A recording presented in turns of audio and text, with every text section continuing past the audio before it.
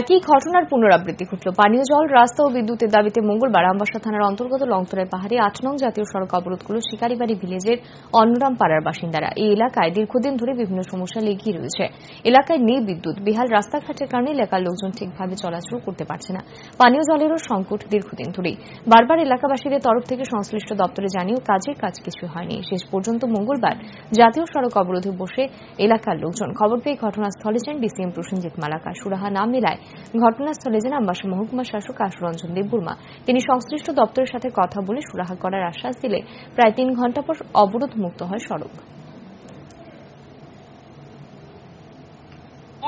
Video মানে ব্লকের road এটা এটা একদম ইমিডিয়েট মেনটেন্যান্স করার জন্য ভিডিও পদক্ষেপ নিতে আছে আজকে এটা ভিজিট করব আমাদের জুনিয়র ইঞ্জিনিয়ার এবং আমাদের পঞ্চায়েত সেক্রেটারি আছেন সশরীরে। উনি এটা দেখবেন এবং এটা অতি শীঘ্রই এটা রিপেয়ার করার জন্য উনি উদ্যোগ নেবেন।